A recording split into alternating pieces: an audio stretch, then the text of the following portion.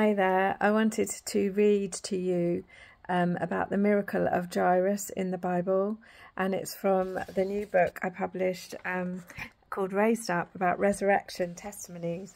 And I have a little teaching um, in each chapter, and this is about Jairus. So on page 33, it says here Jairus, a synagogue official, begged Jesus to go and help as his daughter was very sick and dying.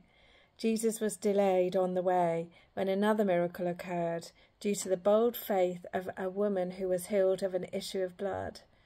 Daughter, take courage. Your faith has made you well, he said in Matthew 9:22. Jairus was told that his daughter had just died, causing the whole household to weep mournfully. However, Jesus encouraged Jairus' faith, saying, "Only believe." And this is from Mark 5:36.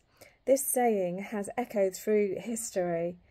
Only Believe was preached loads by the famous Smith Wigglesworth, who had a great faith healing miracle ministry, and it is told that he saw at least 14 people raised from the dead. How incredible! Let us follow Jesus' words and the example of those like him who have gone before us and only believe in the power, love, and resurrection life of Jesus, Father, and Holy Spirit. I'll end it there. I just wanted to encourage you today. Keep believing in the resurrection power of Jesus. Lots of love to you and God bless.